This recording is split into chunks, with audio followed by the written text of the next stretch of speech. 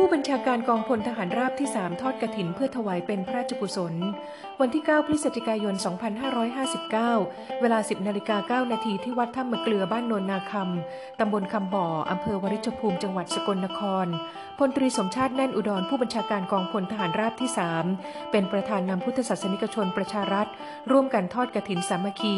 ที่วัดถ้ำมะเกลือ โดยมีหลวงปู่บุญหลายสันติกโรเป็นเจ้าอาวาส การทอดกระถินสามัคคีในครั้งนี้ เพื่อสมทบทุนสร้างพระเจดีย์ศรีรัตนะ ไว้เป็นที่เคารพบูชากราบไหว้ของพุทธศาสนิกชนทั่วไป เป็นการสืบสานวัฒนธรรมประเพณีอันดีงามของท้องถิ่น และเพื่อทำนุบำรุงพระพุทธศาสนา